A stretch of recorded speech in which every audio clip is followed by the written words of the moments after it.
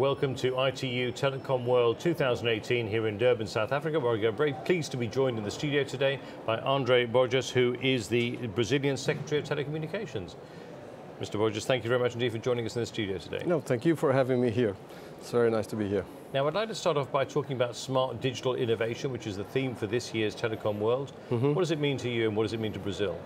It means uh, uh, very much actually uh, because uh, Brazil is in the process of uh, transforming uh, uh, the entire society. So we have approved a, a, plan for transformation into digital society and that means enabling the digital technology to support economy and support social life and support government as well. So it's like a foundation that uh, is is transversal and it's going to influence uh, life uh, as a whole. now, Brazil is an enormous country. How easy is that to put into practice? Uh, it's actually very difficult. It's uh, easier in some areas. Uh, Brazilian, Brazil has many differences, so in some parts of society it's something quite easy to do and it's going to happen quite naturally. Uh, in other parts, uh, it represents a huge challenge. And um, with regard to my responsibility, my challenge is to bridge the digital divide and uh, uh, take uh, connectivity firstly to, to all geographies and then enable this connectivity to, to all citizens. And in terms of broadband, for example, how easy is it to implement the rollout of broadband to a very, was like you say, a very wide-ranging uh, societies, both economically and uh, and geographically. It's quite a challenge, uh, but once again, uh, for the attractive markets, and uh, we have many. Uh, Brazil is a huge economical market. This happens quite naturally. but for the places where there's no return on investment, and then uh, it relies on uh, public policy, which means that you have to rely on budget. Uh, and uh, when a government is facing a financial crisis, as we are, it's very difficult to, to roll out uh, public policy. What are the principal technical, regulatory and policy challenges that are facing you? Well, one of the challenges is rolling out the infrastructure. And uh, we, in Brazil, we have uh, three public entities, you know, the federal, state, and municipal and uh, there's difficulty obtaining licensing from the municipalities to install the infrastructure. Uh, that's one of the challenges that we have to address.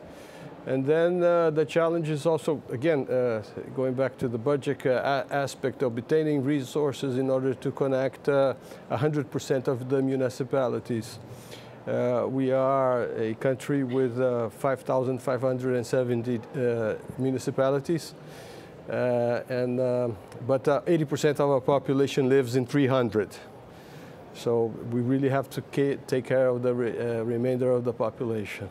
I think that's one of the main aspects. Uh, when I mention connectivity, uh, I'm always referring to, to good quality broadband to enable the user to, to make the best use and benefit of the technology. Do you see any parallels in Africa uh, with, uh, in terms of the, the, challenges and the oh, opportunities? Oh, certainly, certainly. Many, many parallels. I mean, Africa has been a colony. Uh, also, it also has, you know, this uh, heterodox uh, situation, uh, contrast society. You know, very modern cities and very uh, underdeveloped uh, or developing villages, let's say. So uh, we don't find that there's no giraffes in, in Brazil, but otherwise many similarities. And what about digital literacy and, uh, and awareness raising programs in areas such as cybersecurity and, and digital adoption? Well, in some areas uh, that, that's asking too, way too much, but uh, when you, where you already have a heavy use, I, I think it's, it's one of our uh, our uh, objectives. You know, it's something you have to do. You have to take care of that. Uh, I think education is, really important. Uh, with this uh, development of this technology, life is going to be somewhat easier, but uh, somewhat more vulnerable. So we have to take due care with everything we do online, you know, as person, as businesses, and as government. So you optimistic for the future in Brazil? I think we have to be optimistic, right? Uh, it's the way to go about life. We have to be uh, optimistic and constructive. Uh, nevertheless, uh, we have to be very careful with the, you know, with the dangers that, that, these imply, that these things may imply, and uh, address them adequately. I think that's a, definitely a, a, global challenge. In terms of uh, being here at ITU Telecom World, what's the value of you attending this event? Obviously, you've traveled a long way to be here. It's enormous because it, this challenge, since we're going to be connected, we're not going to be connected as a country or as a village, we're going to be connected uh, as a globe.